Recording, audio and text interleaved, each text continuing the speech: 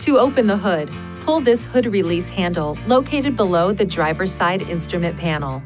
The hood will spring up slightly. Outside the vehicle, push this lever at the front of the hood as shown. After raising the hood, lift the support rod and insert it into this slot. When closing the hood, first return the support rod to its original position. Then slowly lower the hood down until it latches. Now push the hood down to lock it in place. Before driving, verify that it is latched firmly. Please see your owner's manual for important safety information, system limitations, and additional operating and feature information.